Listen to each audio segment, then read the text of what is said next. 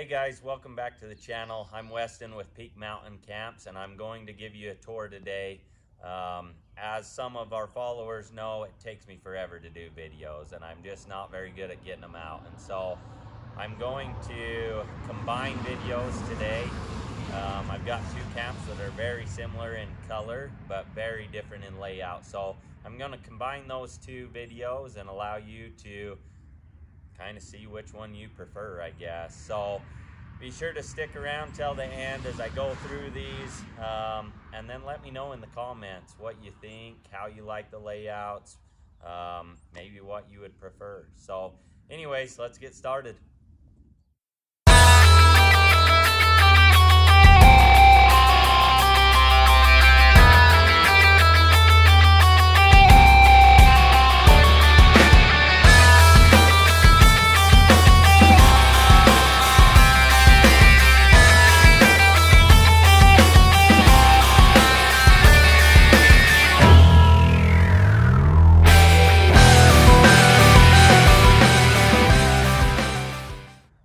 First one we'll be walking through um, is a traditional layout.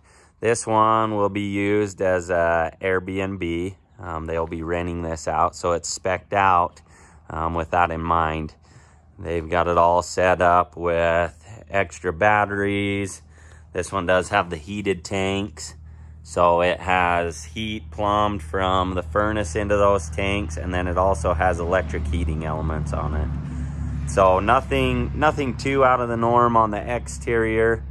Um, you have your fridge vents, your electrical hookups. This has a 30 foot cord that'll step, stretch out. And so if you are using it, campgrounds or whatever, really nice because you have the hookups right there. Up above, you've got your vent for your range hood and your stove. This is your fresh air intake for your wood burning stove and then your wood box that feeds all the way through to the inside. So you can put your wood in there and then just retrieve it from the inside. Your water hookups. So this has the city water hookups as well as your freshwater connections, your furnace, and then your battery banks are generally in this side with your solar controller. And as you can see on this, this one's telling me that my battery level is about 12.5. If I hit this button, I'm getting 12.4 into the batteries from the solar panels. That's what I'm drawing on the interior, 1.2 amps. That's with all the lights on, nothing coming out of the USB port, and my batteries that are at 70%. So that kind of gives you a good idea of how that solar controller works. Um, really cool setup as far as that goes. You have your battery disconnect. The only time I really ever use that is if I am working on the electrical side of it. Most of the time I just leave it um, in the on position. You have your 200 watt solar panels on the back. This is access to your fresh water tank and your drains and your bypass stuff coax for antennas or if you want to do satellite. And then on this side, they have the pull-out camp chef, which is a really nice feature. It just pulls right out. It's on drawer slides, so yeah, pull it out, cook, store it away. It's easy cleanup.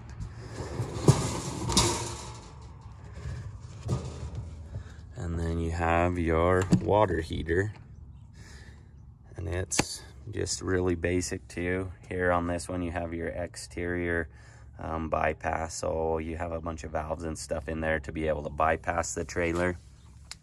Spare tire, it's tucked up nice against your uh, axle so you don't have to worry about dragging it especially on these longer camps. Spray port, so this has a quick connect hose can get it open.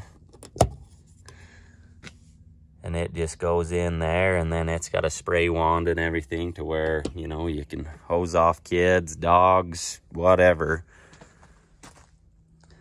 And you have your holder for your sewer pipe, stabilizer jacks on all four corners. This one does have the awning on it.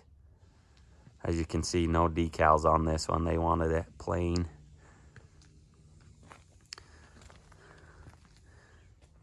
And your two and five sixteenths coupler, adjustable coupler, two seven gallon propane tanks, your storage under here.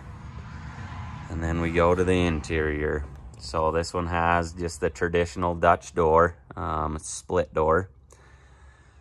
And then you have a big closet. This will be really nice, especially as they're renting it out. Lots of space for um, the individuals to put all their gear and whatever they want. So big closet with big drawers underneath.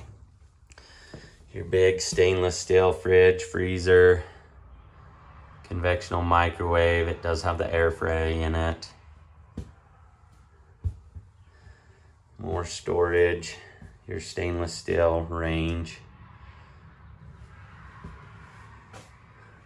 And these are all your switches, your monitors. This will run through all of your batteries, your tank levels, um, and give you a good idea of what's going on with your camp inside of it. So, gas light, super nice on them chilly mornings when you can just light it up, takes the chill right off. And you have your range hood, has a nice bright LED. Um, keeps your cooking area really nice and clean. This one does vent to the outside.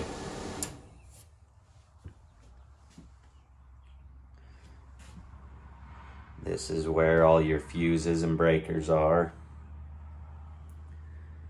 And then you have your wood burning stove.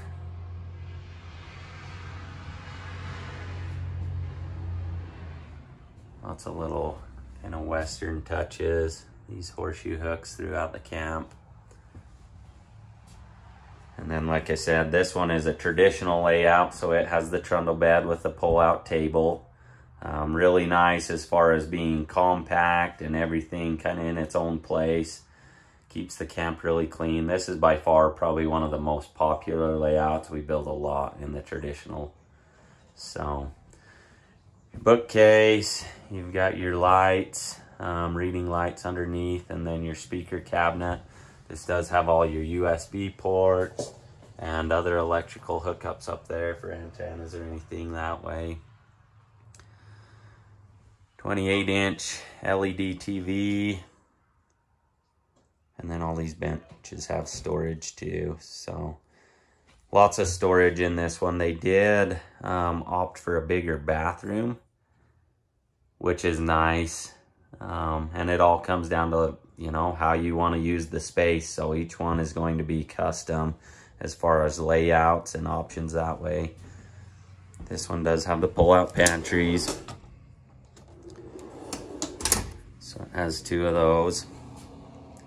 And then, yeah, this bathroom, you can see it takes up quite a bit of space, but as you go into it, it's a lot roomier.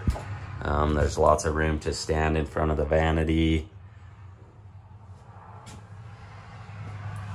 You have your porcelain toilet, and then your glass stainless steel shower. LED lights. That's your exhaust fan. But just super nice the way that it turned out. And you can see this is just a solid wood door. All the cabinetry and stuff in this is all uh, out of a knotty alder. So knotty alder doors, they're all hardwood doors, soft close hinges on them. But very stout. Um, as we tell our customers, the biggest issue they will have with one of our camps is deciding which kid they're going to hand it down to or who gets it when they're gone because it will it will last them a long time. So anyways that's a look at this camp. We'll go ahead and walk through um, our next camp and let you see. And also show you the rosewood trim. This one does have the fantastic fan in it. It's all on a remote control your furnace but yeah, overall, pretty nice camp. So let's go take a look at this next one.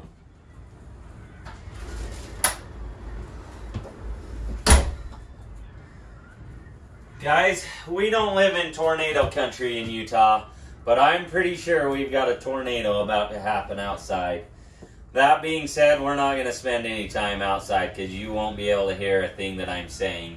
So we'll spend the majority of our time here inside going through the layout of this camp, let you see some of the features and things going on in here so that you can determine what you want in your camp, what layout works for you. Um, this this video I'll entitle Battle of the Grays. This one's a gray interior just like the one that I just showed you. So anyways, we'll go ahead, walk through this one, and let me know what you think. I think just to change things up a little bit, we're going to start at the back of this one instead of the front. So this one has a twin size bed up top, queen size pillow top down below, um, your big bookshelves, and then lots of windows around the bed, nice natural lighting. It's got the pull-out drawers underneath the bed, nice for storage. And then it has the entertainment center that's set up for TV this one's not getting a TV, but you can see lots of storage banks of drawers in this one. Put all your goodies and everything. TV will be mounted on the wall. Your wood burning stove. Makes it nice and toasty. I don't know if you just heard that, but that was that tornado I was talking about. Stainless steel range.